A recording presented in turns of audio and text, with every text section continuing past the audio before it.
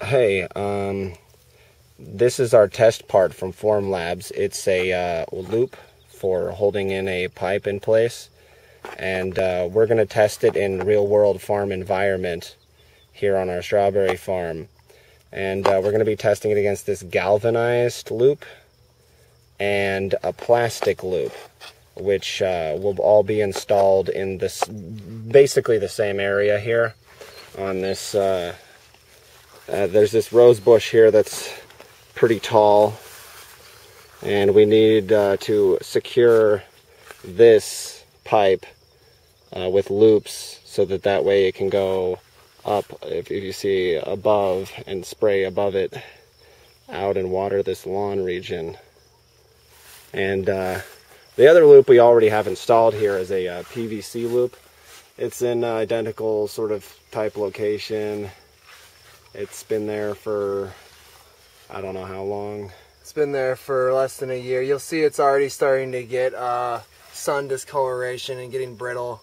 It won't last more than five years sitting there. Probably it might break this year. The way the sun is getting so powerful now. Yeah, and so uh, this is my test video for Formlabs so that I can uh, see how good their 3D printed stuff works.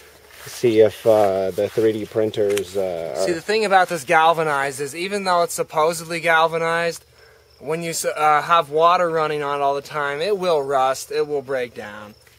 Compared to this, which uh, should be pretty resistant to the UV rays of the sun and all the other millions of rays as well. yes, the 3D printed half loop here. So, I mean, uh, screw them into place and we'll see what we think. Yeah,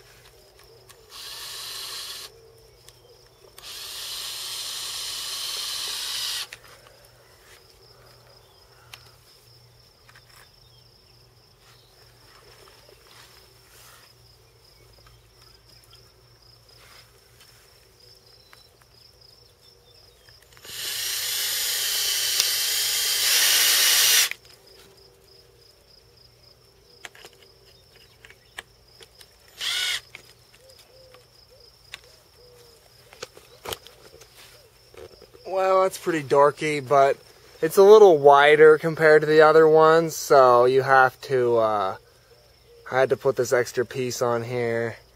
Um, anyways, as a solution, might as well add this into the video. For screws sticking out the back of this wood, I'm just gonna try to take this clipper here and clip off the uh, screws here. Oh! Whew. There's the other side here. I don't know what's the best angle to get it off. Like that. That one didn't fly off at least. And now I'm going to use some Flex Seal to spray the ends to keep them from being sharp because I don't want kids to hurt themselves. So we'll just put a couple coats of that on there, I guess.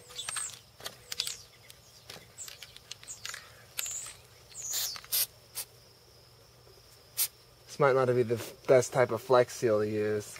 Too runny. Probably get the thicker stuff and put it on a glob on there. Or you can get those little rubber like tips that you can put on the end of screws, I guess.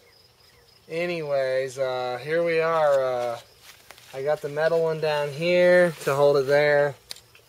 And there's that one up there, modified to fit. And we'll see if the sun wears this out at all in the next few months. It's uh, extra ozone-licious out here, so who knows. I know that one's falling apart over there on the uh, house, so that one's already proven to fail. Besides for that, um, all I gotta say is uh, PVC pipes are starting to fall bar- apart quicker each year in the sun too. Uh, it might get so bad that they won't even last long enough to be worth using. I hope there'll be some sort of new polymer pipes to replace them. Yeah. And, uh, 3D printing your own stuff might be the way to go. I don't know. I'd like to be able to do that. It's probably cheaper, depending upon how much the bulk liquid costs that you use to print stuff with. Because, yeah, we always need little fittings to fit Yeah. pipes together. There's so many fittings on a custom farm you need constantly for different watering solutions. And so I hope uh, Formlabs could help us with that. Yeah, I'd like to get one of their machines. That'd be awesome.